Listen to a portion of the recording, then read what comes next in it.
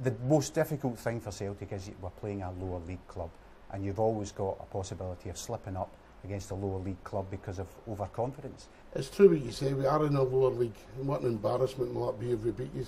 This will probably be the most significant old firm victory in, in the history if Rangers beat you. But you're, always shoving it down my throat we're in the lower league. We know we're in the lower league. We're just a bigger crowd than you, but it doesn't look like we're in the lower league, so ah, we'll be fine. We'll well, be okay. a couple of things about that. One, you don't have lower crowds. But secondly, it certainly would be the most significant result in your history because it's the first time you're playing us in your history. So no, it's not. No, it's not. If it's good enough for FIFA, UEFA, SFA, and who's other mob you complain to, the Advertising Standards Authority, how many teams do you need to be slapped down before you accept it?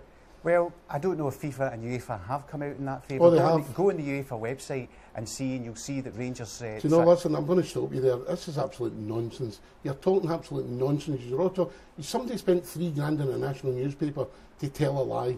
Why don't we just concentrate on football?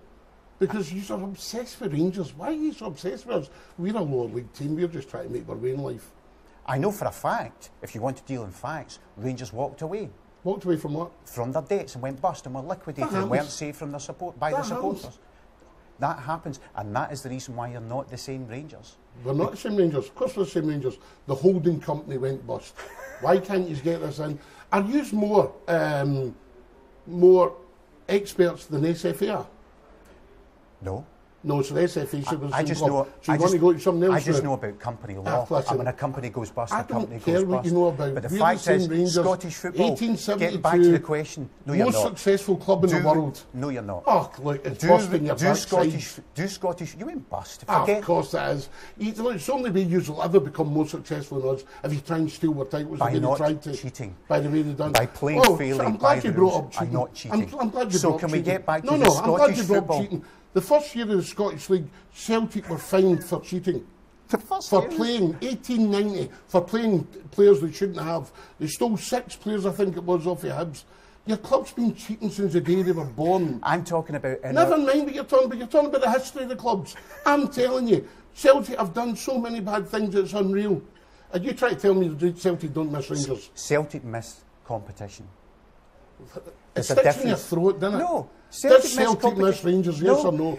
If, no. If I had my wish, I'd never play a team called Rangers ever again in my lifetime. Listen, you're the same as most Celtic fans if you had your wish, but we live in the real world.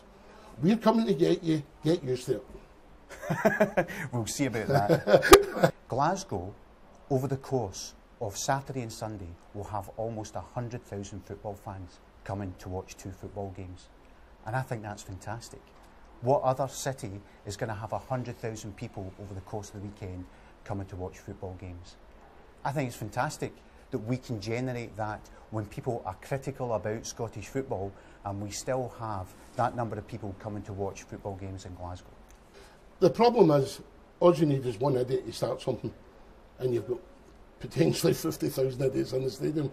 If we just stop all the nonsense and just get on with the football, I think the, the city will be a lot safer.